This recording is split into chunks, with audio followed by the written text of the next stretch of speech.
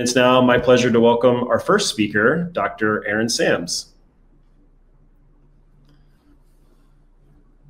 Hi, John. Well, welcome. Thanks. So, uh, for our viewing audience, please welcome Dr. Aaron J. Sams, Principal Scientist at Embark Veterinary. Dr. Sams received his PhD in biological anthropology from the University of Wisconsin at Madison and subsequently served as a postdoctoral research associate in the Department of Biological Statistics and Computational Biology at Cornell University. Dr. Sams is a population geneticist who values using scientific research to provide beneficial technologies and services to the world. As a trained anthropologist, Dr. Sams learned to connect his scientific research to human narratives, past and present. He uses that lens to focus his efforts as a leader in research and development at Embark and believes that as humans, we owe it to dogs, our earliest animal companions, to ensure their health and well-being. He's one of my favorite presenters, and today Dr. Sams will speak on patterns and consequences of inbreeding in domestic dogs. Thanks again for joining us, Dr. Sams. All right, thanks, John. Um, yeah, so so thanks again, John, and everyone at Embark who has worked so hard to put together this summit. Um, I'm really excited to be able to participate um, and present this information to, to this audience. Um, so yeah, today I'm going to talk a little bit about the patterns and consequences of inbreeding in dogs. Um, before I get too deep into that, um, I want to make sure we're all on the same page about kind of vocabulary that I'm going to use um, throughout this talk. So for example, Inbreeding, what is it? It's the production of offspring from the mating of genetically related individuals. That seems kind of obvious, but just to make sure we're, we all understand that definition.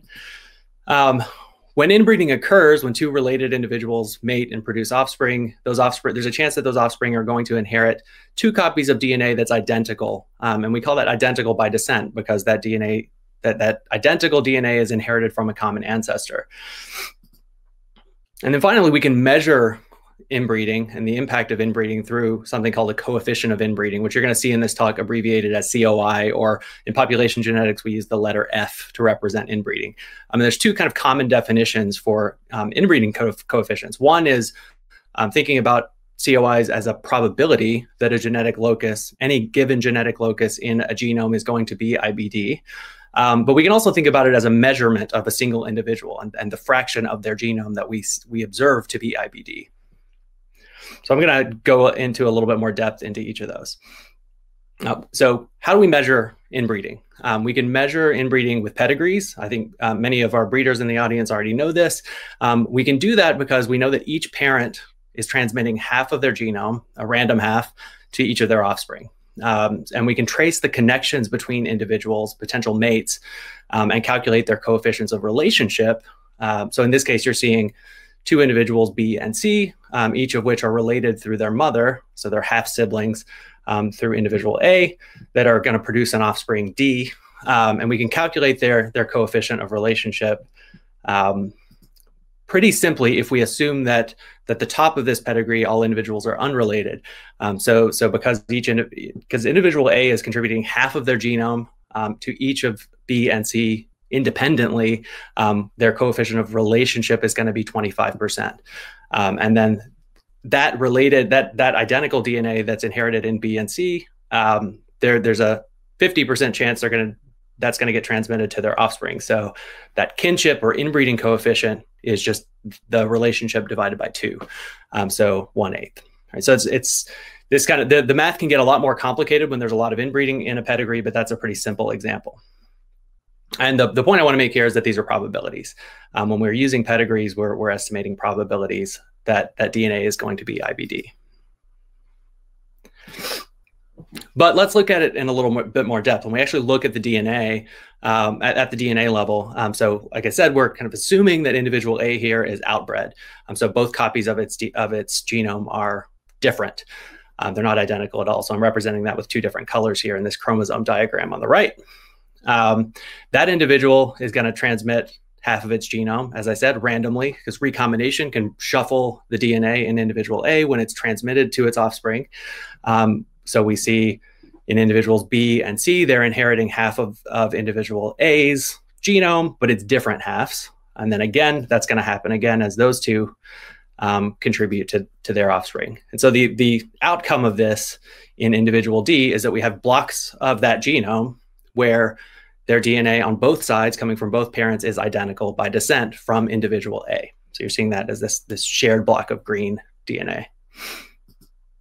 And those that's what we actually want to measure. When we use genetic data to measure inbreeding, we're looking for those shared blocks uh, of, of identical DNA. And so we call those runs of homozygosity because we're looking at the DNA and we're looking for long stretches where all of the genotypes that we measure are homozygous. They're the same allele on both on both copies of the DNA. So those are stretches of a chromosome where both copies of an individual's DNA is identical.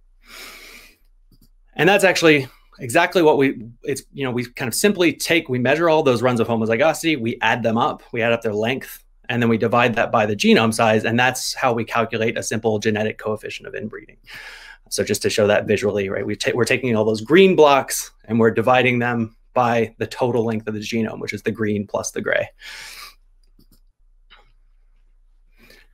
So coming back to this, the, the main point I want to make is when we're measuring those inbreeding coefficients from pedigrees, we're, we're getting that probability. So we're, we're, we're saying that at each position of the genome, there's a one-eighth chance that individual D is going to be inbred. But when we actually measure how much of the genome is inbred in practice, it can vary quite a bit from that estimate.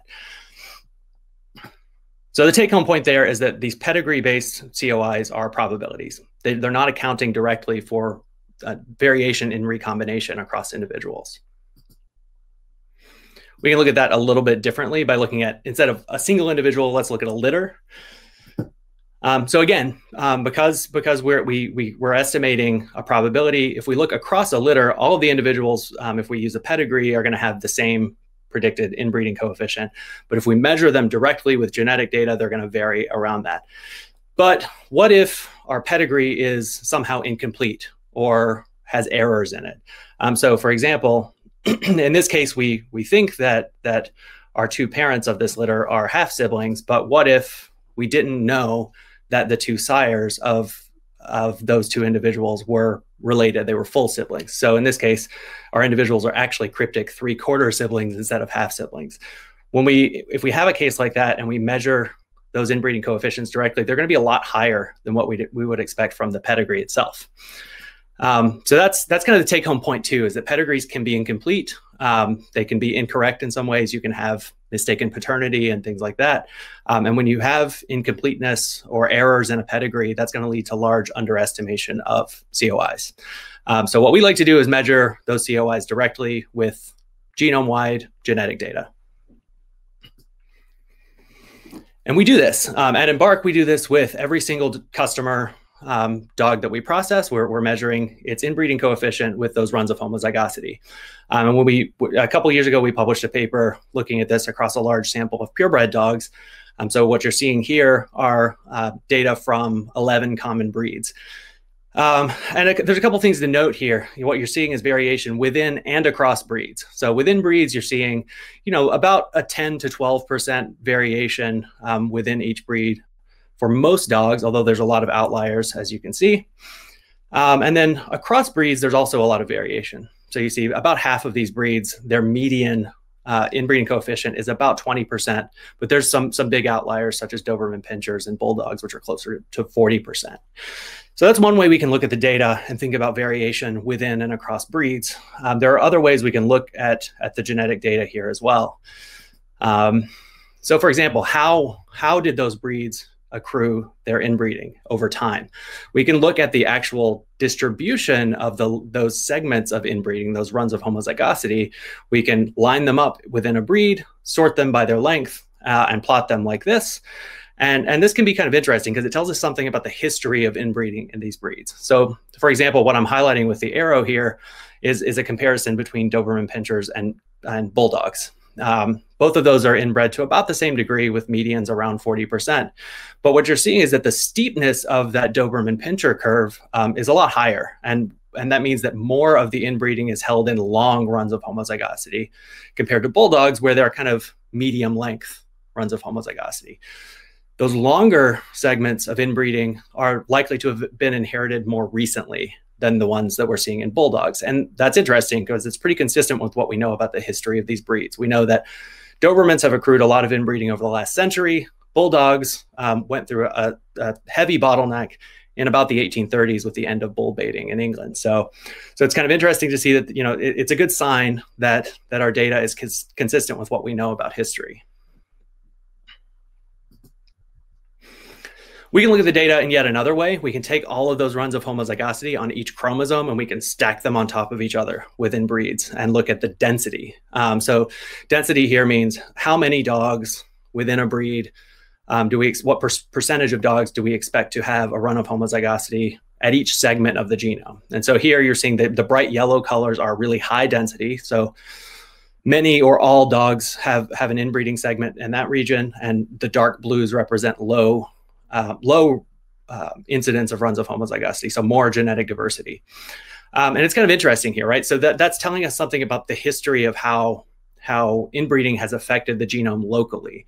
Um, so the case at the top, well, what I'm showing you is is, a, is an image of chromosome 32 in bulldogs, where we have the BMP3 locus, which was selected strongly um, to to make the short faces that bulldogs have. Um, and you can see something similar in chromosome 13 locus that that encodes furnishings in poodles. So the the point I want to make here is that in each of these cases we've we've applied artificial selection in these breeds, um, and we were targeting a single mutation in each case. Um, but but that selection actually reduced diversity in a in a pretty big chunk of each of these chromosomes. Um, and so that that's from an effect called linkage um, the, the mutation that we're selecting on is physically next to other DNA. Um, and as you're selecting on that mutation, you're going to carry with it, um, with an effect we call hitchhiking, you're going to carry with it the surrounding variation. Um, and that's not in and of itself necessarily a bad thing, but if you have deleterious mutations that are really close on a chromosome to things that you're trying to select on, um, beneficial traits that you're trying to select on or desired traits, um, that can be bad. And and there's there's a number of cases of this in across various dog breeds. So a pretty um, well-known case that that Ryan Boyko mentioned yesterday in his opening talk um, is HUU in Dalmatians. So this is a really um, well-known case of hitchhiking due to artificial selection on a specific trait. Um, so this is a pretty bad uric acid defect. It leads to bladder stones in Dalmatians, and as Ryan pointed out yesterday, it can be kind of costly for owners when it when when they have to treat this with surgery. Um, and it, it's an interesting case that was first described about a century ago. And, and over the past century, it, it was described various times that, that it seems like that this deleterious mutation that causes this defect is probably linked to spotting in Dalmatians because it was observed that that it that both of these traits were fixed um, in Dalmatians. And it wasn't until about a century later, just just about a decade ago, that that this was first described genetically um, and the, the, actual source of this defect was was identified. Um, and so the, the point I want to make here is that artificial selection on spotting likely drove this deleterious mutation to fixation in Dalmatians. Um, you know, and it's it's great that we're now getting to a point where we can start to understand the genetic underpinnings of really um, negative traits like this. Um, because we, we can do things like outcrossing. Now, now that we know where this mutation is, um, Dalmatian breeders can can do um, selective outcrossing to breeds like pointers and remove this mutation from the Dalmatian breed, which is great. Now, so so so that's that's the third take-home point I want to make is that you know we, we see this historical inbreeding and artificial selection from from past breeding, um, and and the formation of new breeds has led to inf- increased frequency of deleterious mutations in a lot of dog breeds. Um, so that's that's something that that we can observe and have to deal with um, in the dog healthcare world. So that's a, that's an example of a really simple trait. Um, so so with simple traits like that, simple traits or phenotypes, um, you know, with, with most traits we can, we can say that the trait or phenotype is a product of both genetics and the environment. So, so variation in genes and variation in the environment can lead to variation in that trait. Um, but in simple genetic diseases like HUU, um, there's not much impact of the environment. And we can say that the effect size of, of the mutation that underlies it is very, very high. And when we're talking about effect sizes, we're talking about the, the amount that that mutation contributes to the genetic variation that underlies that trait. So in this case, we know this one mutation underlies all of the, the effect of the phenotype. Um, so it's pretty simple. What we, we identify that one mutation, and now we have a pretty good understanding of how to treat this condition um, or through, through the breeding process and we understand the biology of how the how this condition arises. But unfortunately, a lot of the traits that we care about in dog health and wellness are much more complex than this. They're they're affected by many many different genetic loci across the genome. They have impacts from the environment. They're a lot more complex. We call these complex traits. And when we look at complex traits, um, you know, in the, in the human world and also to, to some extent in dogs, which have been a little less studied, but, but we're, we're ramping up in the dog genomics world, um, we can see that complex traits, we, we tend to see distributions of effect sizes, right? So, so there's a lot of different genetic loci that affect these traits. They have different contributions to the trait um, and different different inherit each of those loci can have different inheritance patterns. So some of them might be recessive effects, some of them might be other different kinds of effects. Um, and, and just this idea that, that many traits that we care about are complex is something I want everyone to keep in mind throughout the rest of this talk because it's because it's important. Because what, what I want to talk about for a lot of the rest of the talk is um, something called inbreeding depression. So inbreeding depression is the reduced survival and fertility of the offspring of related individuals. So when inbreeding leads to negative fitness or health consequences. Um, and so, you know, this happens when segments of inbreeding, those runs of homozygosity, overlap the genetic loci that underlie um, complex health traits. And we usually try to identify whether a trait is affected by inbreeding depression by correlating um, coefficients of inbreeding with the trait of interest. So in this case, you're seeing a, a hypothetical um, drawing of um, COI against litter size. So, so an, a, a, graph like this would tell us that litter size as, a, as a, an indicator of fitness is affected by inbreeding. And this is exactly what we see. So a couple years ago, we, we, we started a collaboration with the more samples creep time study. And just to give a plug for this study, it's it's really the the golden retriever lifetime study is an amazing longitudinal study with with a wealth of data, and we were really lucky to have the opportunity to work with it, and it was a great um, experience.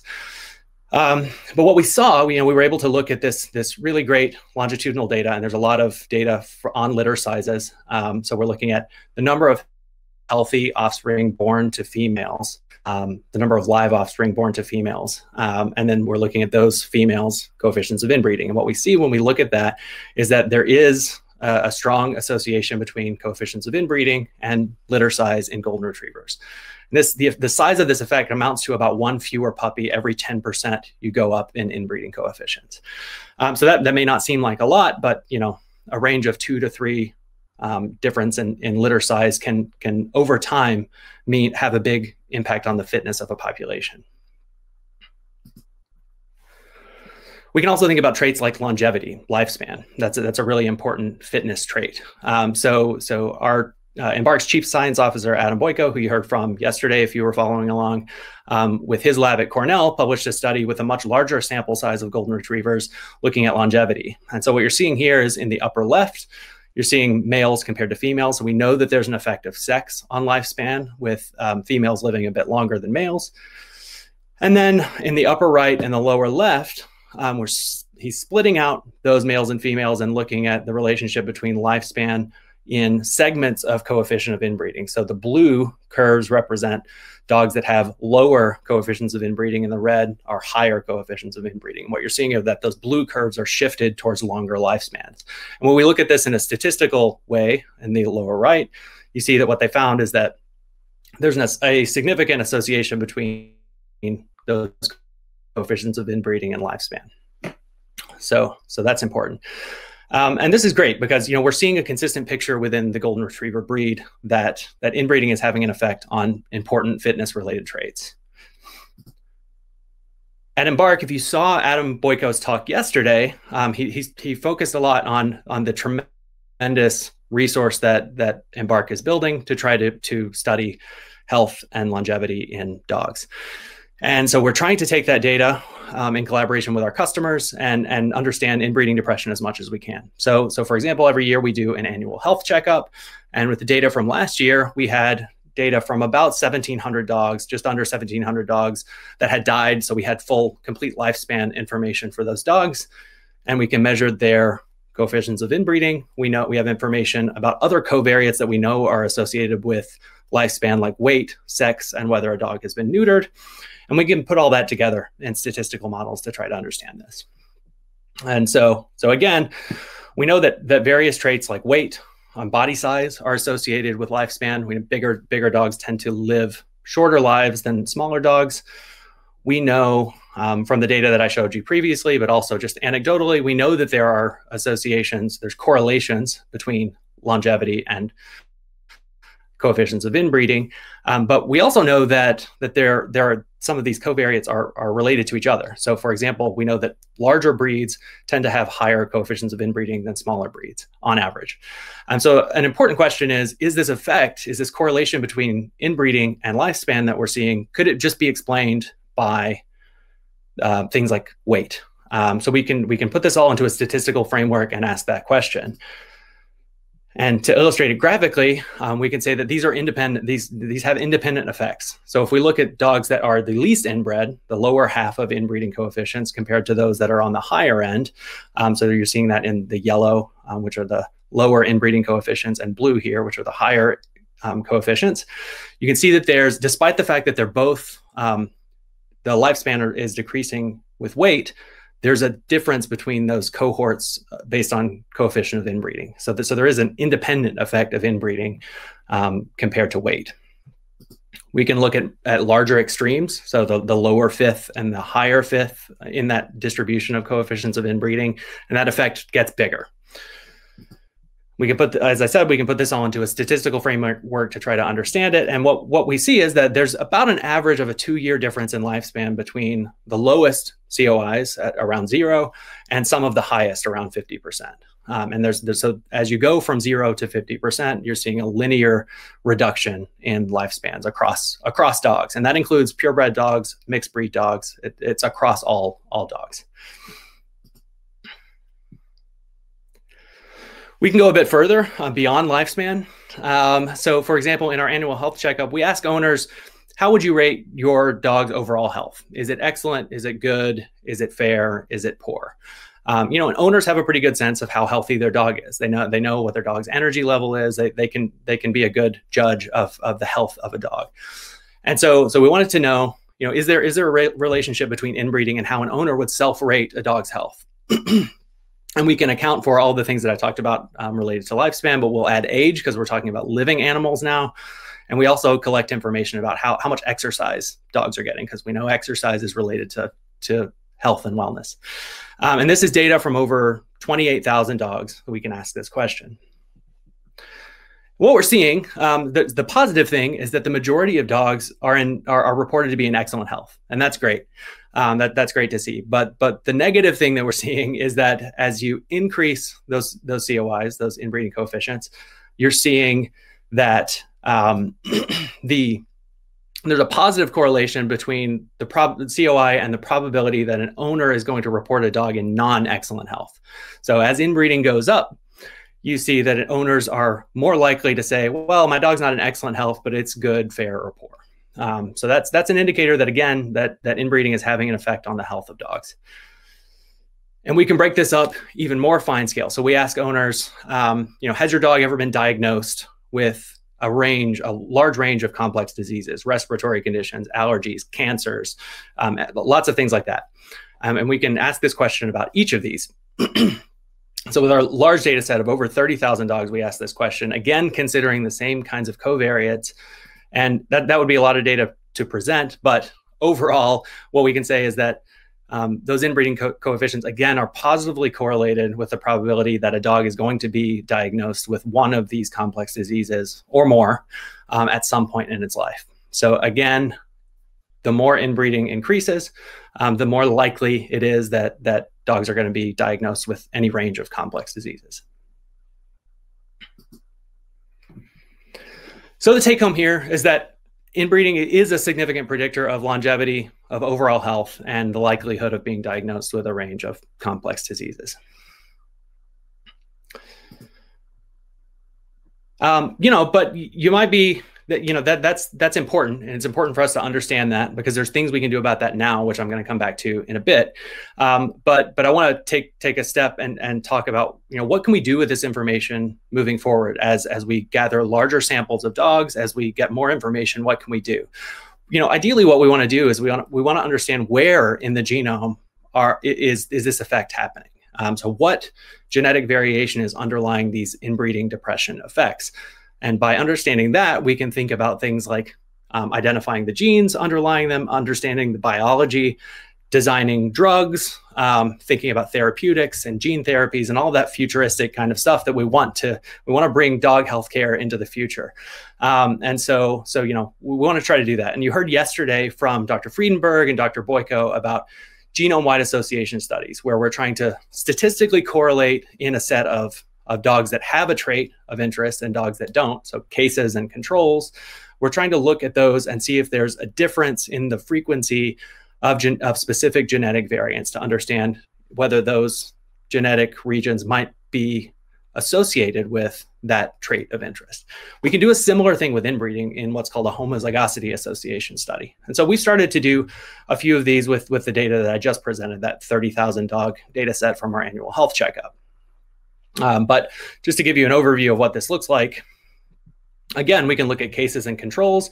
What we're doing is we're taking windows of the genome and we're saying, okay, how many dogs in the set of cases and how many dogs in the set of controls have a segment of inbreeding across this window of the genome.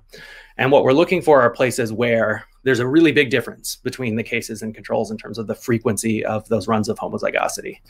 So most of the places we look at in the genome, we're not going to see a very a very big difference between those two. What we're looking for are places where we do see a big difference. So this is the kind of thing we want to see where the, where they really stand out.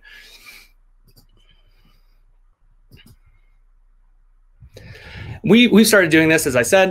Um, I, am presenting here our data from from um, the question we ask about whether a dog has been diagnosed with allergies of the skin, hair, fur, because it's one of our largest sets of cases. And so we have more statistical power there to ask this question. Um, and this is what we see. Um, what we want to be looking for are cases where these peaks and valleys are, are going beyond these dashed lines, because that tells us that this is a this is a an effect that you can't question as much. Right? It's statistically significant. Um, we don't see any of those in this in this preliminary study. Um, but if we take all of the the regions that we looked at and we we sort them based on the ones that are are you know the most different between our cases and controls, um, the window that is the most different uh, includes a gene called RCOR3, and that's a gene that we know that has been associated in humans with allergies in the past. And so that's that's a promising sign that we're we're moving in the right direction. And as we build these data sets and they get larger, um, we hope to to use the the power of those large data sets to understand the genetic underpinnings of inbreeding depression just as a note, because I know that a lot of breeders and, and vets and people out there are interested in DLA, the dog leukocyte antigen um, system. This is a set of immune associated genes um, on chromosome 12. It's similar to the human leukocyte anti- antigen system. Um, in humans, we know that genetic variation in HLA genes are associated with, with a range of immune related conditions, especially autoimmune diseases. Um, and so, so the question, you know, it, is there is there are there similar effects in dogs? Um, what we're seeing here with allergies is that we, we don't see any major effects um, when it comes to inbreeding in DLA. And we went a step further and we looked just yesterday, we, we took a look at um, variation in DLA that we can measure with the, the EMBARK genotyping array um, and, and looking at those owner reported health scores and and we we didn't see any association there either so so you know there's a lot more work to do when it comes to DLA um, but we're excited about where that can go as well. But again, I, I think this is promising for for um, better understanding how these uh, how inbreeding results in inbreeding depression and understanding the biology of these traits. And okay, so so that's great. Um, what do we do now? Um, what can we do with the information that inbreeding is associated with with these health conditions? Um, what we, we want to try to do um, in like as you know as dog breeders you want to try to preserve genetic diversity through the breeding process. Um, and if you if you were tuning in yesterday and you saw dr savage's talk she talked a bit about how this is being done uh, in the cotton top tamarin zoo population. Um, and she she mentioned that you know the, the theory suggests that what you want to do if you ha- if you have control of a whole population like that is you want to um, select your mating pairs so that in the next generation you're minimizing inbreeding in the population as a whole, and you're you're using as many animals as possible in the population as parents. Um, that kind of system can be a bit challenging in companion animal breeding, like dog breeding, because we, very, no one really has control over over an entire breed necessarily. Um, there there are a lot of independent breeders that are that are breeding on their own with you know in networks and things like that. So that can be a challenge to actually think about the the population as a whole. So so the question is, can you can you know can you breed to minimize inbreeding in individual litters? And what, what will the effect of that be on the population as a whole over time if individual breeders are are doing that? Um, and this is something people are doing you know people are work breeders are working with with us at embark. They're working with other genetic testing providers um, to try to minimize inbreeding in in their litters. Um, and there's different technologies out there to do this. Embark we're using a whole genome genotyping array with dense coverage across the entire genome there are other genetic panels available, um, such as small microsatellite panels that, that folks are using to measure diversity, um, and in some cases, actually um, choose mates for their dogs. Um, and so we had two questions that we wanted to answer about that. And one is, can you use those small genetic panels um, to maintain genetic diversity in a population? Does it actually work? Um, theory suggests that it might not. And so we wanted to actually test this. And secondly, um, can we can the loss of genetic diversity be slowed by just focusing on minimizing inbreeding in individual litters? Um, so to to ask these questions, we conducted a simulation study last year. Um, we developed a model. It's kind of you know it's similar to to the history of a lot of breeds where you have a large ancestral population that goes through a, really sharp bottleneck during the formation of the breed, and then it expands again, um, and you have breeding um, in that last uh, so at the bottom, you're seeing that the, the population expanding again. Um, and we're, we're applying mate choice in that in that most recent part of time. Um, and the genomic model there is, is really a model of the entire dog genome. Um, so, so we're modeling genetic variation across the entire genome, uh, broken up into 38 chromosomes. On top of that genome-wide variation that we're modeling, we're throwing on 33 um, simulated microsatellite markers distributed across 25 chromosomes. And again, if you saw Dr. Boyko's talk yesterday, he mentioned that you can kind of see um, that that's a popular uh, microsatellite panel. Um, that's the way that a popular microsatellite panel in dogs is is designed. Um, so we wanted to actually understand how that works um, in simulation. And then we simulated the breeding of litters based on mating decisions to minimize inbreeding in offspring. So you take a dog, you choose a mate that will minimize the inbreeding of, of its offspring. what do we see when we do that? Um, first, if you do that and you're using that small genetic panel of microsatellites to guide your mating decisions, um, this is what you see. And so the thing to focus on here is the bottom panel where more negative values are, are saying that you're doing better at preserving diversity compared to random mating. Um, so what you see on the so going from left to right, you're going further away from those microsatellite markers in the, simulated chromosomes, and and you see as you go away from those microsatellites, you're doing worse and worse at preserving genetic diversity. And so, the point here is that you only you can only really preserve genetic diversity where you're measuring it. So it's important to measure across the entire across each chromosome. Um, and, and if we actually add up with this common microsatellite panel, how much of the genome are you actually covering? Um, it, it, it, ends up amounting to about 5% of the genome that you're covering. So that's 95% of the genome that you're just ignoring. You're not measuring genetic diversity there. You're, you can not do anything about it. Um, what, in contrast, when we when we use whole genome data to do the same experiment, um, every, you see that everywhere across the, the genome, um, you're getting kind of uniform preservation of diversity relative to random mating. So that's a good sign. And it suggests that you know genome-wide data is providing pretty uniform preservation of diversity um, in these kinds of mating schemes. So the take home there is that genome-wide panels are necessary to preserve genetic diversity across the entire genome in a breeding program. Uh, and you can use those predicted litter COIs to choose mates, um, and that's important in reducing inbreeding load in litters today. Um, Adam Boyko yesterday talked a bit about Embark's match, matchmaker feature. Um, you know, you can use tools like that to, to do this kind of work today in, in your populations. So um, to start to wrap up, I'm going to try to save us a little time here since we got started a little late. Um, the take-home points that I've that I've presented today uh, are that pedigree-based COIs don't account for recombination events within individuals, and so um, you know we're we're missing some information if we're just relying on pedigrees.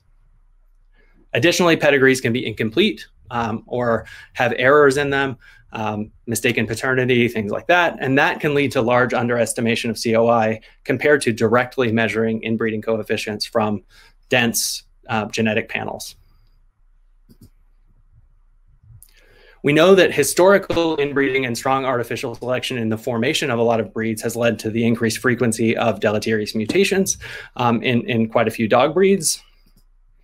But on top of that, a lot of the traits that we care about um, are complex, and and we can look at those traits um, in terms of inbreeding depression, and we we see that inbreeding is a significant predictor of traits like longevity, overall health, and the likelihood of a dog having been diagnosed with a range of complex diseases. And then finally, we want to use genome-wide genetic panels um, to preserve genetic diversity in mating programs. So you might be asking if you're a breeder out there in the audience, you know, what that's great. What can I do now? Um, and and so from you know, I think our our consolidated advice would be a few main things. Um, you want to use available genetic tests and services to avoid unnecessary inbreeding in litters. That that seems like the the sensible thing to do. You want to test for mutations that are known to associate with health risk and avoid pairings of dogs that would lead to unnecessary risk in the litter. So, for example, you, you tend to want to avoid breeding carriers to carriers for recessive mutations because you know that there's a chance that some of those offspring, one quarter of them, are going to, to be at risk for that, that deleterious disease at the, the overall breed and population level, you want to keep as many breeding animals of both sexes in the gene pool as possible. So avoid things like popular sire effects. Um, if you think about this mathematically, right, if, if you're only breeding 10% of the males in a generation, uh, that's 90% of them that are carrying genetic variation that you're not passing on to the next generation. So you're losing a lot. Of, you can lose genetic variation very quickly um, by having large differences, what we call skew in, in sexes um, in breeding. And then finally, I think this is kind of the most important point I want to make is that Embark's customers and our research partners can collaborate with us um, in research by participating in research surveys and, and setting up um, collaborative research studies. Um, and this is really, you know, something we're very passionate about at Embark. We, we want to, um, you know, really, really be collaborative and, and leverage the power of this very large data set we're building with all the smartest people that we can and try to, to make a big difference in, in dog health. So with that, I'll say thank you. Um, I want to give a big thanks to everybody at Embark. Um, I, there's really no one at Embark that hasn't had a hand in this research in some way or another. Um, I want to, you know, the Morris Animal Foundation for um, allowing us to work with the Golden Retriever lifetime study data, um, which was important for some of the work that, that we've published and presented here today. Um, the Doberman Diversity Project has been working with Embark um, since the very beginning and has been really influential in shaping how we're thinking about studying um, inbreeding and inbreeding depression. And then finally, again, Embark's customers. Um, without the customers who are acting as citizen scientists and filling out research surveys every day, um, we wouldn't be able to do this work. So, so thanks to them. And I think I've got a little bit of time for a few questions. All right, I've got a little bit of extra time. Let's see, let me find some of these questions. So um, let's see. Gerald asked, um, this is a pre-submitted question. Gerald uh, from Dixie, Georgia, uh, asked, when reading about inbreeding, various downsides are discussed, such as litter size, inbreeding depression, etc. At what level of inbreeding using COI do these issues start to occur? That's a good question. I've talked about that a little bit today. Um, but so so I guess I want to say that there's definitely an inclination to think about inbreeding as if there is some some hypothetical threshold above which you shouldn't cross. Um, but really, we have to think about it as I hope I've I've presented today. We have to think about it a little bit more statistically. Um, and the data we're seeing is that you know the effect of inbreeding depression increases linearly as as inbreeding increases in a population. So for you know basically, if you think about it from the perspective of, of a single mutation that is deleterious um, and transmitted recessively. Um, the probability that that mutation is going to be inherited in two copies is going to increase. The chance that that that, that locus is going to be inbred, it's it's increasing linearly with inbreeding. So so you expect those effects to kind of add up as inbreeding adds up.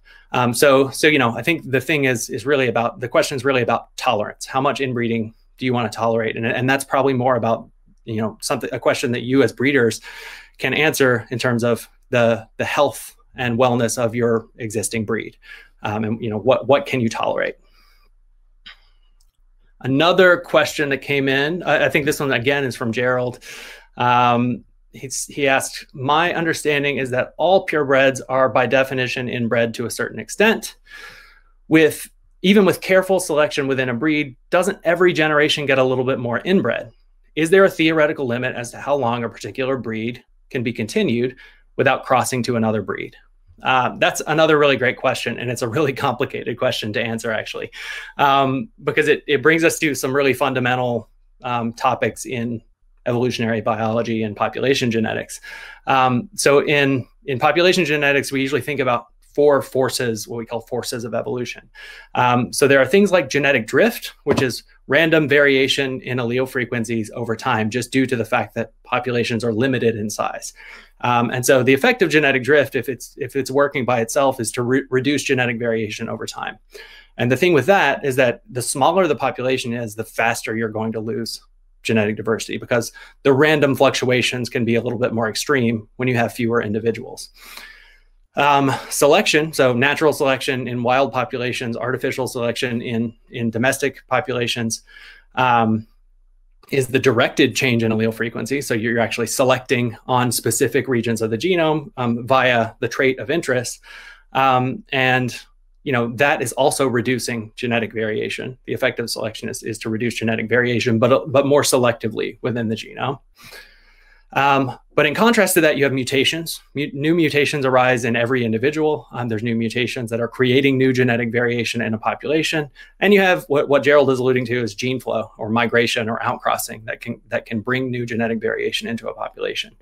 Um, and so I think the trick is, can a population without outcrossing generate enough new genetic variation via mutation faster than it's losing it via genetic drift and artificial selection? And so that's kind of a question about the number of breeding animals in, in a breed. Um, if, if the number of breeding animals remains fairly small, it's likely that you know variation is still going to continue to reduce over time. And with all the methods that I've talked about today, we can we can think about slowing it by carefully choosing breeding pairs. Um, but but it's but Gerald is correct that that in many cases there's there's kind of a, a there can be a point of no return basically. Um, but there's kind of a, a practical aspect to that question like can we actually support enough dogs in in each breed globally to maintain that mutational balance that you would need? Um, so so i don't really have a perfect answer to that question but but because it would take a lot of really careful thinking and modeling um, to answer it perfectly. But i i, I can safely say um, it's kind of reinforcing what i've said in my talk today that to better preserve genetic diversity in in each breed um, you know you want to use as many individuals in the breed as possible to contribute to the next generation um, and you you want to breed to minimize inbreeding in litters. Um, and we should be monitoring um, i think the, the biggest point i can make is that in dogs we can do a better job of monitoring the inbreeding and health of each of these populations over time and that way we can detect when there are issues arising in a breed early and and decide how best to address those issues. Um, so so that's that's kind of what i think we need to be doing in those cases. All right. Well, thank you very much uh, for presenting your research and answering those questions, Dr. Sams. Yeah, no problem. My pleasure. I um, actually want to leave you up here for just a quick moment because I thought um, a comment you made just a few minutes ago was particularly insightful.